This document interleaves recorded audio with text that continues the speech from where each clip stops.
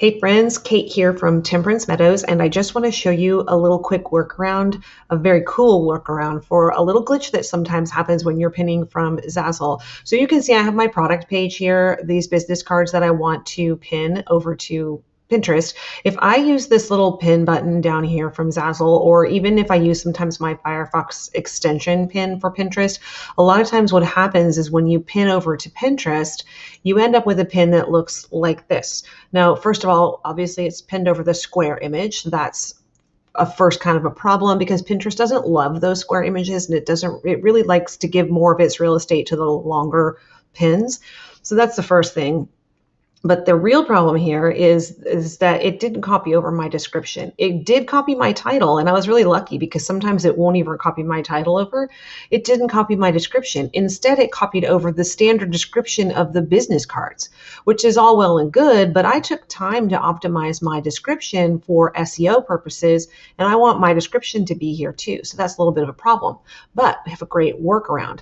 Uh, I have made a pin using Canva, and I've been using one of my Canva templates that I've made specifically for Zazzle product images, uh, but they're actually really great for any square images. I, I love to use these to repurpose Instagram posts or use square images from other print on demand sites like Redbubble or Society6. Any square images work great.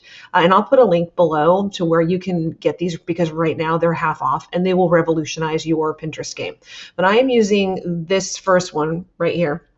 And I made this pin and it looks great and it's ready to go. And it's a lot more eye catching than just this straight pin here from Zazzle. And I want to go ahead and post that up to to Pinterest. So I'm going to use this publish to Pinterest button over here and I've connected my account, my Pinterest account to Canva, so it's good to go. So I'm going to choose my my board and if your board isn't there, you can actually just type your board and it'll show up. And I'm going to grab my information from this from the uh, website over here from Zazzle.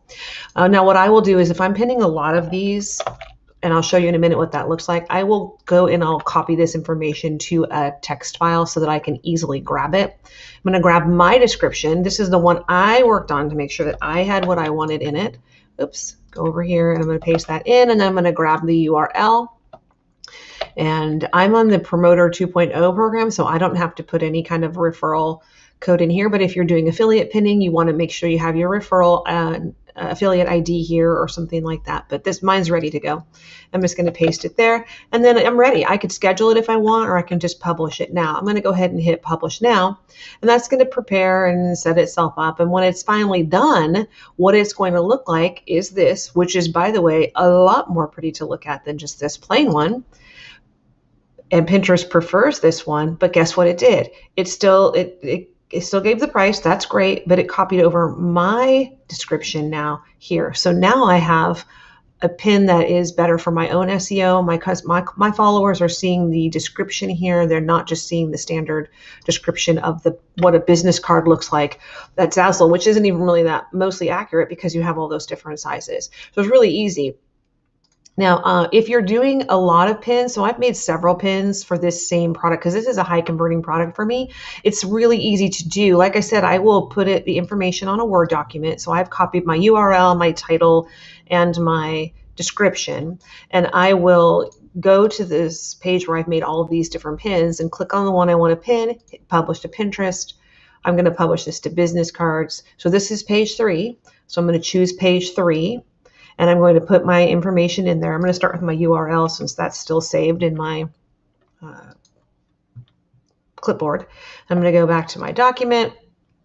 I'm going to copy my description, come back over here and paste it, come back to my document, copy my title, come back over here and paste it. And now I'm ready to paste another or to publish another one. I'm going to hit publish now, and that's going to publish right up to my board. And it's going to be a pin that's really uh, high converting for me and I can just continue editing and I can continue to do that all the way down. I can also schedule those if I don't want to sort of spam my followers with 10 pins in a row of this card. I can schedule them out using this feature here where you just choose when you're going to publish it later. So that's really great. So if you haven't checked out our Canva templates yet for Zazzle or any Square product images, like I said, I'll link in the description below. You should definitely check them out because they are 50% off right now.